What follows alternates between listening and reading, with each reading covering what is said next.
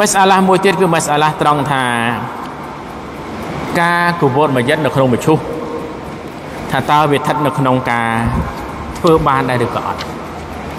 ជុំវិញបញ្ហានេះអ៊ុលម៉ាក៏មានការគិលាគ្នាផងដែរថាប្រសិនបើវាតម្រូវការចាំបាច់ដាក់មយិតនៅក្នុងមឈុះដាក់ចោះតែបើអត់តម្រូវការចាំបាច់ទេអត់ទេ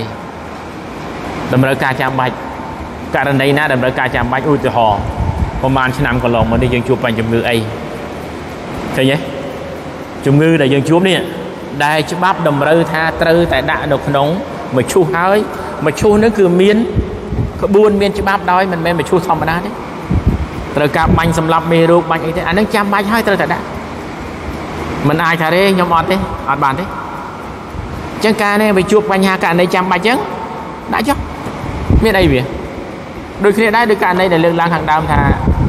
បើតំបន់នឹងមិនអាចជីកលៀងលហាត់បានមិនអាចជីកសុកកោះបានវាត្រូវតែមានមឈូសដើម្បីដាក់ដោយសារទឹកវាលិចដោយសារខ្សាច់អីអានឹងចាំបាច់ទេដាក់យើងមិនអាចយកមកយិតទាំងទាំងដុំដោយសារអត់មានអីបាំងដីកុំឲ្យសកត់លើអីអីហ្នឹងទៅដាក់អញ្ចឹងតែម្ដងអត់ទេអត់អាចទេអញ្ចឹងករណីនេះយើងត្រូវមើលស្ថានភាពរបស់វាបើវាជួបបញ្ហាដូចនេះយើងអាចធ្វើបានមិនមែនជារឿងមួយអ្វីមួយដែលខុសនោះទេណា ពិតមែនតែធៀបដើមរបស់វាបើវាអត់តម្រូវការចាំបាច់ទេកុំឲ្យសោះ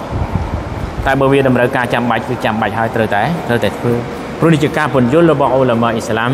ជុំវិញបញ្ហាក្រឹតក្រមច្បាប់នៃការដាក់មយិតនៅក្នុងគបូតគឺត្រូវតែមានក្បួនមានច្បាប់ទាំងអស់នេះឯងអ